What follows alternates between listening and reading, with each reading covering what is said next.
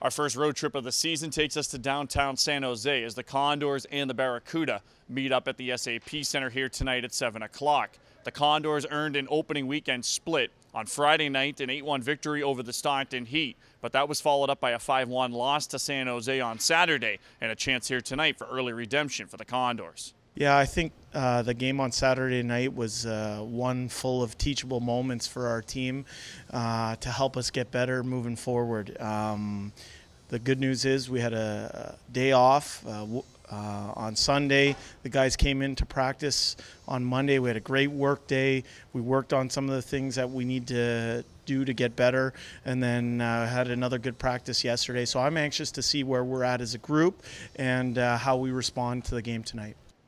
The Condors do get some help on the blue line as Ethan Bear was assigned to the team earlier this week and looks to make his season debut here this evening.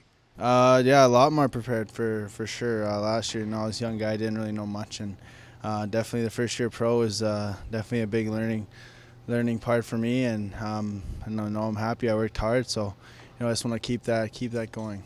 Yeah, Ethan, uh, I've gotten to know him over the last couple of years in the organization. I think he has an offensive skill set. Uh, he has the ability to join the rush and break pucks out quickly. Uh, I think he had a solid training camp up in Edmonton, made the team coming out of camp. Obviously, with some players activated, uh, someone needed to be assigned to uh, Bakersfield, and just happened to be him.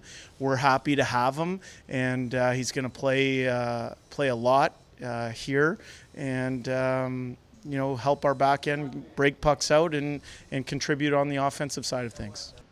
The Condors will be without winger Mitch Callahan as he was suspended yesterday by the American Hockey League for slew footing in the game on Saturday. The team will also be without defenseman Ryan Stanton. He and his wife welcomed their first child, a baby girl named Scotty, into the world this morning. Congratulations to the Stantons. Look for Nolan Vesey to make his pro debut here this evening, and also Evan Polei and David Gust to hop in the lineup for their season debuts with the Condors this year. We'll get all the action going at 6:45 p.m. with Condors Countdown on Fox Sports 970, the iHeartRadio app on your mobile device, and AHL TV, the all-new AHL TV, streaming live in HD at theahl.com/ahltv.